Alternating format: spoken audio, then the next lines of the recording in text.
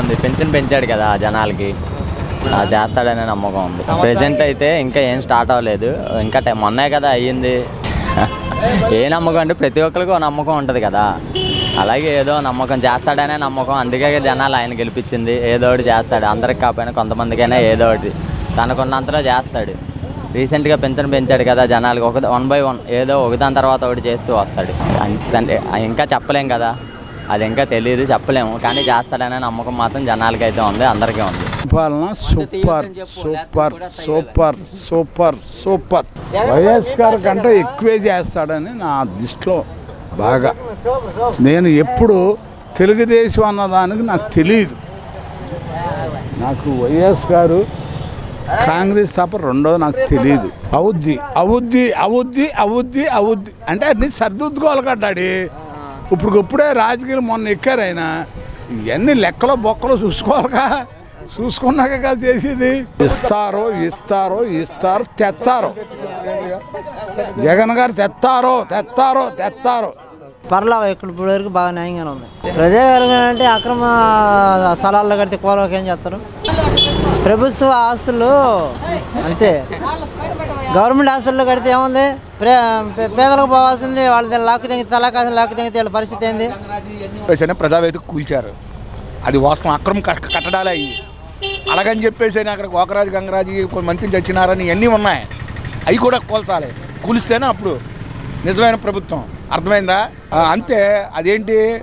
అదేంటి అది ప్రజాధనం అది. ప్రజాధనాన్ని అనవసరంగా వేస్ట్ చేయడమే అది. అదే కూల్చేదానికి దేనికో దానికి చేయొచ్చు కదా. ఏమో అవుద్ది. ప్రత్యేక హోదా వస్తే ఆల్రెడీ ప్రత్యేక ప్రత్యేక హోదా వచ్చిందనుకో నాకు ఫలానా ఏది? ఇరవై నాలుగు ఎంపీ సీట్లు ఇమ్మన్నాడు కదా. అర్థమైంది? ఇచ్చారు కదా. అప్పుడు ప్రత్యేక హోదా తెస్తాడు. తెస్తాడు ఆల్రెడీ. తెస్తాడానికి కదా. చూడాలి కదా. ఇంకా ఇంకా పెట్టలేదు అన్నారు. పెడతా చేస్తారని చూస్తున్నాం. ఏ నమ్మకం ఉందంటే అది మాకు నమ్మకం ఉంది. చేస్తాడని. ఆయన ఎన్నో పథకాలు పెట్టాడు చంద్రబాబు నాయుడు. మాకు ఏది చేసింది లేదు.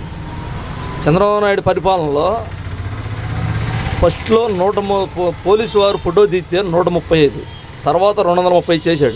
డైరెక్ట్గా ఇప్పుడు పదకొండు వందల ముప్పై చేశారు ఆ ప్రభుత్వంలో.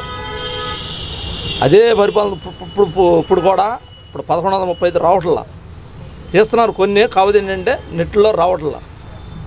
మాకు ఇన్సూరెన్స్ ఒకటి ఆటోకి ఇన్సూరెన్స్ ఒకటి అదొకటి మాకు మేలు చేస్తే మాకు సరిపోతుంది. వైఎస్ రాజశేఖర రెడ్డి పరిపాలనలో మూడు వేల ఐదు వందలు మూడు వేల రెండు వందలు కట్టిన ఇన్సూరెన్స్. తెలుగుదేశం ప్రభుత్వంలో తొమ్మిది వేలు చిల్లరైంది ఇన్సూరెన్స్.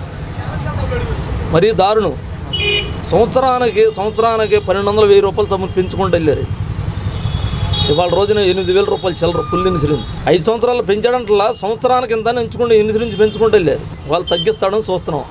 మాకు పదివేల రూపాయలు మాకు ఆటో వాళ్ళకి ఇస్తే మాకు దానికన్నా పని చేస్తుంది. అది మాత్రం కరెక్ట్ ఇప్పుడు జగన్మోహన్ రెడ్డి చేసేది కరెక్ట్ మాకు తెలిసిన మట్టుకి. న్యాయం చేస్తాడు అనుకుంటున్నాం. మాకు దాంట్లో న్యాయం జరిగింది ఏమీ లేదు. ఇల్లు ఇస్తున్నాడు ఇల్లు లేదు. ఏమీ లేదు. వైఎస్ రాజశేఖర రెడ్డి పరిపాలనలో ఇల్లు ఫ్రీగా ఇచ్చారు.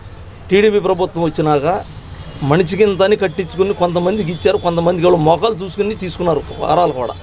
అప్లికేషన్లో మొఖాలు చూసి తీసుకున్నారు అప్లికేషన్ ఎ- కనీసం ఎక్కడ ఇచ్చింది కూడా ఎవరికి లేదు ఇల్లు లేని వాళ్ళకి ఇల్లు ఇస్తాం అది ఇస్తాం ఇది ఇస్తాం అన్నారు ఏమీ లేదు. తిప్పుకున్నారు కానీ ఏమీ జరగల. ఇవాళ రోజు మాకు చంద్రబాబు నాయుడు పరిపాలనలో మాకు ఏదన్నా కానీ ఇవాళ రోజు మాకు ఏదో రెండు వేల రెండు వేల రూపాయలు ఓటుకి ఇస్తున్నారు అని చెప్పి అయితే నాలుగు సంవత్సరాల్లో ఏమ లేని వాళ్ళ దగ్గర ఎంత లాగుతున్నాడు అని జనాలు తెలుసుకోవాలి. ఈ రోజున తెలుసుకున్నారు. తెలుసుకున్నారా అటు నమ్మకం కుదరలేదు ఇటు నమ్మకం మీద గెలిపించుకున్నారు జగన్మోహన్ రెడ్డి. ఈ వీడియో గనుక మీకు నచ్చినట్లయితే లైక్ చేయండి షేర్ చేయండి. మరిన్ని వీడియోస్ కోసం మా ఛానల్ను సబ్స్క్రైబ్ చేయండి.